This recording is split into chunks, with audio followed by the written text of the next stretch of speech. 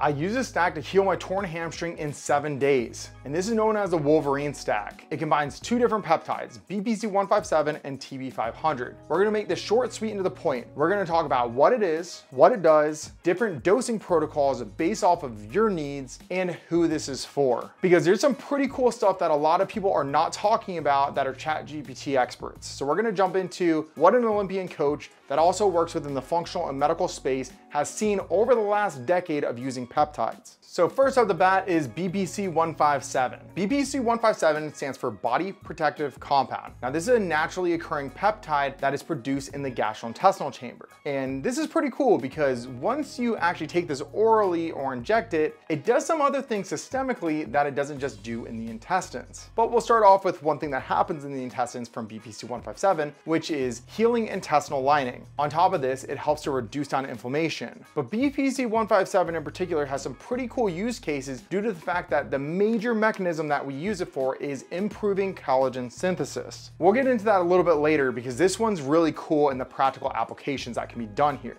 The other thing that is great for is tendon and ligament healing. Now TB500 is a little bit different because this is not naturally occurring in the body. This is a synthetic peptide. It's most known for ability to heal muscle tissue as well as soft tissue. On top of this, it helps cell migration, which is very cool. And again, we'll talk about practical applications here in a second that most people are not talking about. And it improves blood flow and circulation. And it also improves the immune system, which most people are not talking about either. Now, if you clicked on this video, you're probably watching this because you're like, hey, I just just want to learn how to take this stuff and to heal my injury, which that's what these are the king for. Traditionally, the Wolverine stack is 500 micrograms of BPC-157 combined with TB500 at 500 micrograms per day. And many times they're sold in bottles combined together. They could be five milligrams and five milligrams of each. If you guys are having difficulty measuring, I have a video right here that you guys can see how to measure it. But this video, we're talking about what they do and practical applications for your used cases. And a lot of times you don't actually want them to be together in one bottle. And this is the reason for this is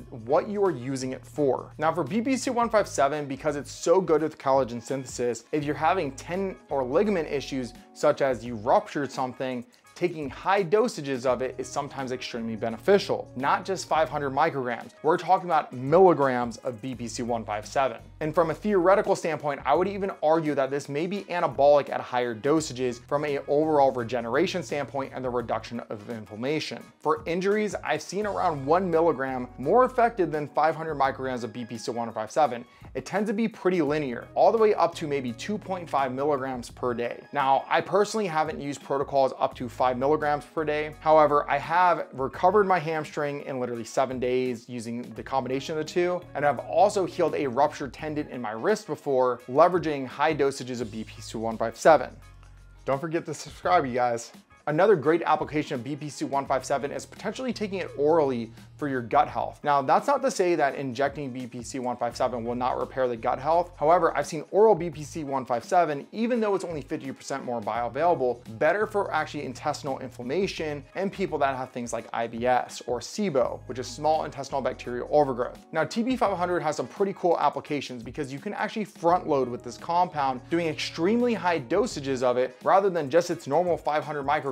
And also the half-life of this is much longer, meaning that you can take it every other day or every third day rather than just daily. And the injury protocols that I've used it for was actually starting at five milligrams per day and then I would have reduced down every week by about 50%. So starting at five milligrams, then 2.5 milligrams, then one milligram, and then 500 micrograms for a maintenance dose. And from an injury perspective, I found this extremely beneficial. Now, TB500 is also really cool in the fact that it reduces down something called IL-6 that can drive up autoimmune response. So if someone has autoimmune issues, sometimes taking low dosages of TB500 can actually settle down the overall immune system so that you're not getting as much of an autoimmune response. And it does something else cool, which is reducing down TNF, which is tumor necrosis factor. There are a lot of myths going around saying that it can drive up cancer. We don't have any human research on either BPC157 or TB500. So TB500 does not cause cancer. This was actually based off of an in vitro study on TB4 driving up cancer growth. Now, TB500 is not identical to TB4,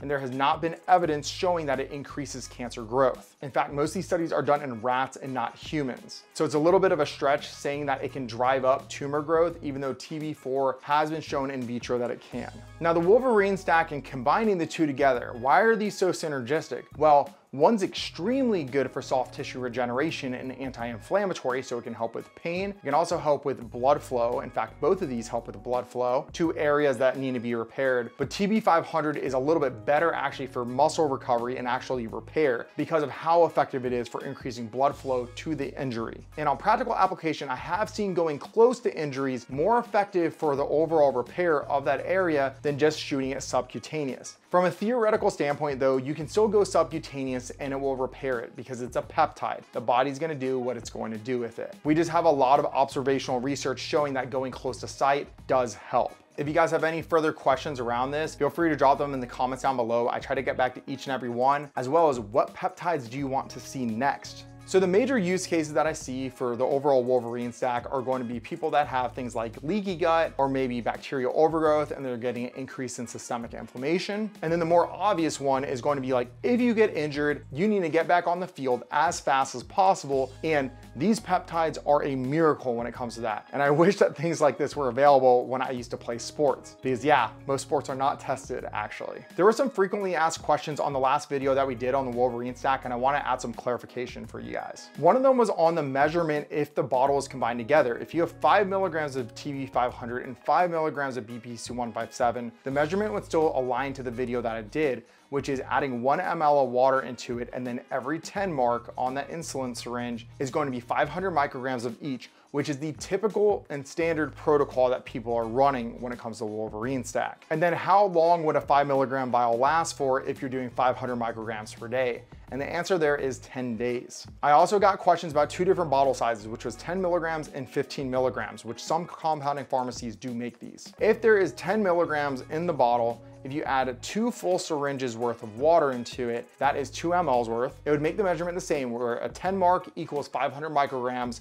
of BPC157 or TB500. And then there's another compounding pharmacy out there that does make 15 milligram bottles. It's not very common. Most of these bottles are big enough to where you can add three mLs of water, which would make the measurement the same where 10 mark equals 500 micrograms. However, if the bottle cannot handle three mLs of water, I would do 1.5 mLs of water. So that would be one and a half insulin syringes worth, and that would make it that every baby five mark is 500 micrograms, just to make measuring a little bit easier. Should I take the subcutaneous or intramuscular? And to be honest, if it's an injury, I would go as close to site as possible without irritating the area. This could even mean subcutaneous over that area or intramuscular near the area it doesn't make that much of a difference from what I've seen in relative experience. But for ease of comfort, a lot of people are more comfortable doing subcutaneous than intramuscular. Both work though. Plantar fasciitis, where to inject if you're having pain in the heel. Now this one's a little bit weird. I personally would just go subcutaneous near my belly button. It does work systemically and it's a little bit of a weird area. Or you can go close to the ankle, but the issue with going close to the ankle is the water might not disperse fluidly and that's the issue. However, if it was something like tennis elbow, which I have had before and I have used these peptides for, I would actually go into my forearm intramuscular because that was as close as it could get. The other thing is tennis elbow is actually coming usually from tight forearms. So that's how I would apply it for that. If you guys have been finding the peptide series helpful, we have a bunch more content coming your way. So we'll see you guys in the next one.